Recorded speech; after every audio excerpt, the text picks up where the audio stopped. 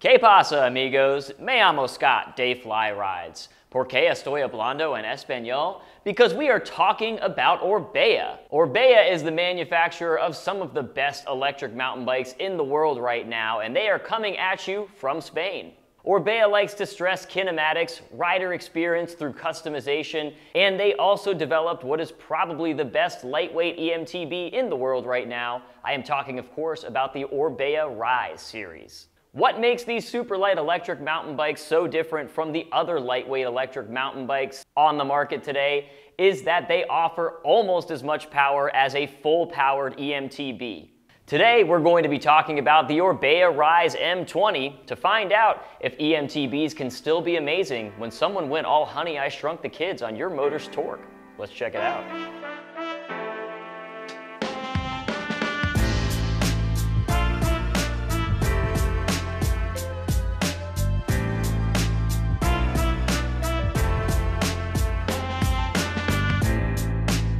Primer, vamos a hablar de specs, bebé. Let's talk about specs, baby.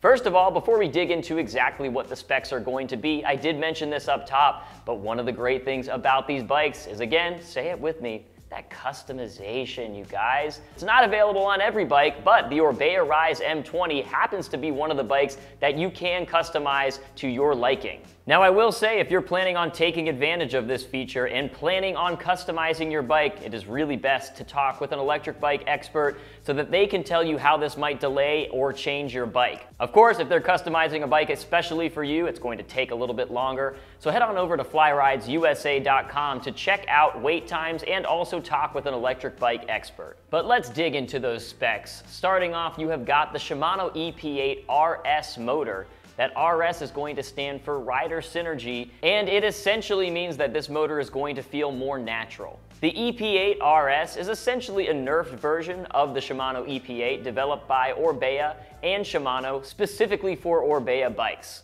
It's going to offer 60 newton meters of torque and 250 watts, and it's one of the main reasons that people are crazy about these Orbea Rise bikes because again, that is a lot of power for a lightweight bike. That's going to pair nicely with a 360 watt hour battery. Now I know what you might be saying, that doesn't seem very big, but Orbea does state that you can actually expect one and a half times the range of a typical EMTB because of the weight savings on this bike and the less powerful motor. If you're not convinced by me saying this, they do offer a 252 watt hour battery pack that you can extend your range with. The Shimano EP8 RS motor is going to partner with the Shimano SLX drivetrains, 12 speeds on there and a 10 to 51 tooth cassette. You definitely want to see a wide gear ratio on a bike with a less powerful motor, and you do have a wide gear ratio on this bike. And then your group set is going to be rounded out with Shimano hydraulic disc brakes as well. They're going to be the M6100s on 180 millimeter rotors, front and rear, but you can upgrade that front rotor to a 203 millimeter rotor if you so please. Speaking of upgradable components, let's talk a little bit about the suspension. So this is going to be a 140 millimeter bike, the way it comes standard, so it is a really excellent cross-country setup, and on a bike of this weight, you can definitely get away with all mountain usage as well. Up front, it's the Fox 34 Float Performance, but you can upgrade that to the Fox Factory Fork if you would like. And then in the back, it is a Fox Float DPS Performance Shock, which you can upgrade to a Fox Float X Factory. You've got an entire arsenal of Maxxis tires to choose from. If you purchase this bike standard, you're going to get Maxxis Dissector tires that are going to be 2.4 inches wide on 29er wheels. To me, this is a pretty perfect setup on this style of bike, but if you want to change that out, you can upgrade to 2.6 inch wide tires on Maxxis Minions. Your geometry continues to ride that beautiful line between cross country and all mountain. It's a 76.5 degree seat tube angle and a 65.5 degree head tube angle. So I really have no complaints or notes on the specs on the Orbea Rise M20, but of course, you gotta see how these bikes ride. So we are going to take this bike out for a spin the things I'll be most focused on on this bike is how that Shimano EP8 RS motor functions and also whether or not I am able to get as much range as Orbea claims. Let's check it out. All right, dropping in on the M20. See how this thing does.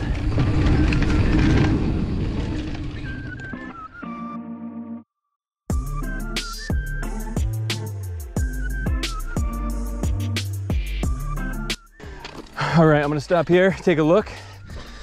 Cardiac Hill. If you've ever wanted to test how an e-bike climbs out here in Penasquitos Canyon, it is Cardiac Hill. Um, again, I'm used to full powered EP8 and I always ride on boost.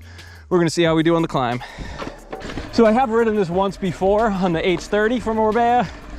And what I notice is the climbings aren't so much harder, they're just a little slower. Um, first thing notice right away, because of the weight difference, you do feel it pull up a little bit. Um, so you gotta just get that balance down. I'm six foot two. I ride a large in almost everything I ride.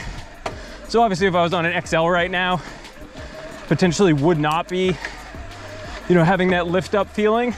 Um, but for nimbleness on the trail, I almost always like to be on a large. And by the way, I've been out here all day. You know, we've been out for a couple hours. We've been stopping to do some shoots, but I still have the green light for my battery indicator. It hasn't flinched. And again, I've been able to ride in trail. This is my first real turbo experience. And I mean, it's nice. It brings you right up. Will, what'd you think? Loved it. Yeah. No problem. No problem at all. Yeah. It's wild.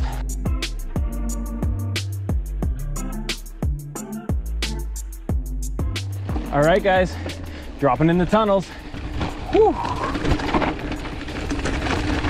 The hardest part about this trail is keeping away from the low-hanging branches. Even with these stock tires, I mean, it does fine. It's a little loose, but it's no real complaints. The maneuverability is just incredible. You know, and the Fox on this, like I said, a lot of people say, oh, I'm gonna upgrade, you know, to a 38. I mean, it handles. I mean, I'm not doing enduro, but I'd say if this is what you're doing, stock components are gonna be just fine. Whew. Duck. Square. Oh, yeah. Feels good. It's so light. You know, things like that, I'd usually hesitate to really try and pull, but because of the lightness, I feel like if I get a little off balance in the air, very easy to handle. You know, my first ride, you know, I was on a real downhill, long, steep descent, and I was like, oh, it's slower. But on trails like this, I mean, the same speed as I would have on anything, because it's so windy, so much movement, the weight that, you know, you thought was helping with your speed is really, you know, on this, the lightness is helping you maneuver a lot better than you would anyway. So potentially speed is there just because that's what you're doing anyway. Little creek crossing coming up. I'm not worried about the motors, I never do.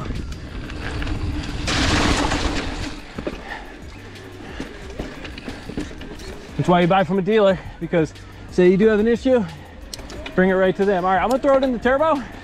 Quick little steep climb. I can feel that pull again. So you do have to really lean down. Make sure you're doing it the correct way. Little bits. Whew. Ah. And that, guys, is an awesome loop.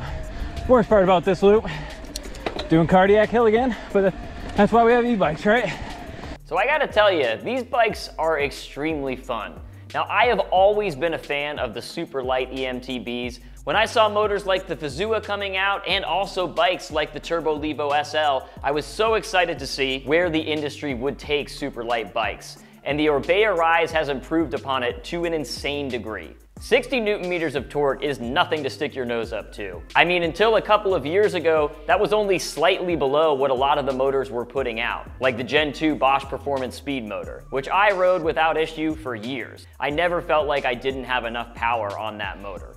Similarly, on the Orbea Rise M20, I never felt like I didn't have enough power either, and we were doing some pretty steep climbs. These super light bikes like the Orbea Rise do improve on a lot of areas of owning an EMTB that you don't even really think about until you use a super light bike. For instance, getting the bike off your rack on your car, allowing for an easier transition in terms of riding style from an acoustic bike to an EMTB, and as Orbea claims, just keeping you in the feeling that you're having a more natural experience out on the trails that isn't over-influenced by a motor. But the reason the Rise really excels is because it does really close that gap between full-powered, heavier EMTBs and lightweight EMTBs. With the weight difference on this lightweight bike, I really felt like the 60 newton meters of torque didn't make a difference at all between my full-powered EMTB and the Orbea Rise. Basically, it just felt like being on an EMTB. One thing I did want to mention is that smaller battery size, that 360 watt hour battery. well I didn't have any issues on our approximately 15-20 mile ride with range, I still had plenty of battery left when we got back. I did want to note if you have concerns about not having enough battery, you might want to look at the Hydro series from Rise, as they are going to have bigger battery packs. You get a 550 watt hour battery. So if you do have concerns about that battery, know that there is a Rise option for you. You can upgrade to that Hydro series in terms of your battery capacity. I would say the M20 is definitely for people who are looking for a more high performance experience and aren't needing as much power as much of the time because there's no doubt there's a big difference between a 360 watt hour battery and a 540 watt hour battery, no matter how light the bike is. But again, for our 20 mile ride, I never had any concerns that I was gonna run out of battery. To me, the main selling point of these Orbea Rise bikes is that there really is just no comparable bike on the market. Full-powered EMTBs are generally going to be a lot heavier, whereas other superlight bikes from other companies just aren't going to offer the same amount of power and range as the Orbea Rise series. I think the EP8 RS motor is brilliantly designed. I really don't know how they did it. They were able to keep things extremely lightweight while still offering a ton of power. In terms of the M20 within the lineup, that is essentially going to be the entry level of the M bikes, which means it's going to be at a reasonable price point, especially with the type of components that you're getting on this bike. I think it's really high quality stuff that fit the type of riding that you would like to do on this bike.